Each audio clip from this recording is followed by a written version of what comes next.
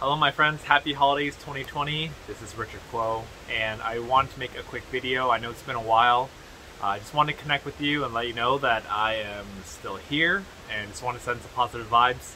Uh, so in this video, I want to talk a little bit more about 2020 and you know 2020 has been a really challenging year for many of us and um, I want to talk about a few things that I've learned this past year and I just want to be able to connect with you. And you know, if you ever need anything, just reach out to me, uh, email me, leave a message, and uh, I'll definitely do my best to reply back. All right, so let's talk a little bit about 2020, and I want to talk specifically about traumas. I want to talk about you know low self-esteem, the challenges that we go through.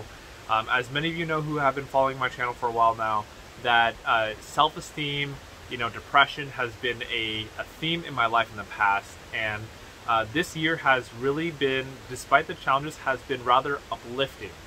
And one really big thing that I've learned this year that I want to share with you is that if you are someone who is struggling a lot internally with self-doubt, uh, self-esteem issues, uh, you know, uh, self-hate, you know, all those negative self-talk, everything like that, then this video is for you. All right. So really what I've learned this past year, and especially more recently, is that all those negative thoughts that we have towards ourselves that I'm not good enough, I'm not capable, I don't deserve this, who am I to deserve this success? I realize is uh, it's it's called um, they're learned behaviors. Okay, so these are things that come from our past. So what I've learned for myself recently is that all of my negativity that I felt in the uh, all the years that I've been alive have come from my childhood, have come from my parents, have come from my environment, and a lot of all of these traumas that I have are because of what's happened in my lifetime. You know, all the uh, subtle, you know, people putting me down in my life and making me feel like I'm not good enough. And I realized today that if you are someone who is feeling not good enough. If you're someone who feels inadequate, you know, I'm not capable, I don't deserve this, then all of those thoughts are not true. Those thoughts come from our childhood. Those thoughts come from our parents and their beliefs that they're they themselves don't feel good enough.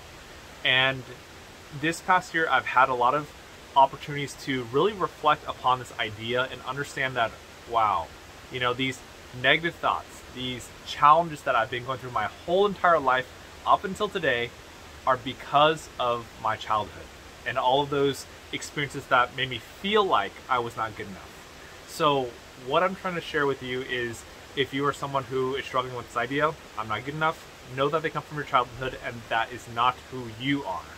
So if you are someone struggling with that, you know, it's something that we get to work on and I've had the privilege of being in a wonderful relationship with my uh, partner Dominique, and she's been absolutely incredible, supportive, and you know she's been a positive influence in the way, always reminding me that I am worthy, that I'm capable, and you know sometimes it's difficult for us when we get stuck in these situations of what do we do when we feel like we're not good enough, that we're not capable of, you know, whether it's getting good grades, we're not capable of um, social aspect, connect with other people. We're not capable of getting a good, good paying job.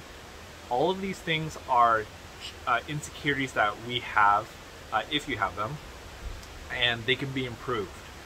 And how we improve the, that part of us is that we just we need to learn to let go of those insecurities that we're not good enough, I'm not capable, and those are sometimes thoughts that we carry with us throughout our lives you know, for many, many, many, many years.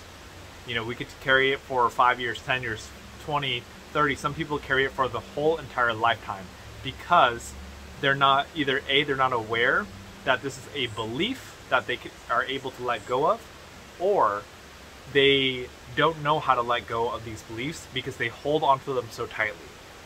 And there's so many different tools. Uh, here are just a few tools if you're looking to get rid of these negative beliefs, of these traumas that we have, these stories that we're not good enough. Uh, one is is affirmations. You know, affirmations instead of focusing on the negative, I can't do it, I'm not capable, I'm not good enough, focus on saying positive things. I am capable, I'm I am deserving, I'm capable, and I am I deserve all of the success that I have in my in my life. Um, I reflect back at my life, and I realized that you know I've had a lot of success in my life, but I never really acknowledged my own successes. You know, I've connected with a lot of great human beings, millionaires, billionaires, uh, successful uh, public figures, things like that. But I've never really, you know, been like proud of myself because I've struggled so much with my self-esteem growing up. All right. So, um, other tips. We talked about affirmations. Other tips to, you know, to feel, um, to kind of get out of these traumas. I think it's really important to really like with the affirmations. It's important to really soak in and embrace this idea that, you know, truly believing that, you know, we are capable. I am capable. I, Richard, am capable. You are capable of anything, you know? Even if your grades aren't the best, even if the job you have is not paying the most, whatever your situation is, know that that's temporary. Everything can improve. All right? Um, so, again, uh, if you're watching this live or when this is released, it's the end of 2020. If you watch it later, that's fine too. Um, 2020 has definitely been a pretty crazy year for many of us, or most of us. And, um, you know, stay strong. If you're struggling uh, with whatever you're struggling with at, at your home or uh, in your relationships or personally, feel free to reach out. Um, I know I'm not su- I have not been super active on uh, YouTube in a while, um, but shoot me an email and uh, I will respond. And I do apologize if um, I missed a few emails. Uh, but my email that you could uh, shoot me an email to is richard at richardkuo.com. So richard at richardkuo.com. Okay?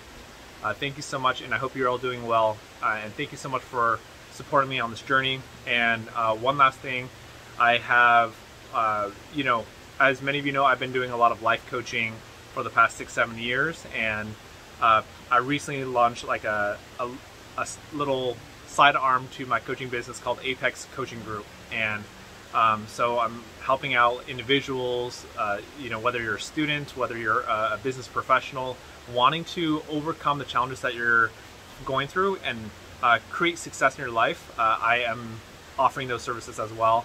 Uh, you can go to apexcoachinggroup.com for more information there, or just shoot me an email uh, either richard at richardkuo.com or apexcoachgroup at gmail.com. All right, thank you so much. Have a wonderful day, and uh, you know, let me know how I can best support you, and I hope you're doing well. Thank you so much for following me on this journey. Uh, sending lots of love and light to all of you, and let's uh, continue to support and one another and help each other on this journey of life. All right, take care. Have a wonderful day. Happy holidays.